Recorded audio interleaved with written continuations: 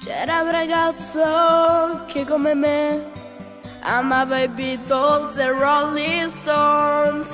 Girava il mondo, veniva dagli Stati Uniti d'America.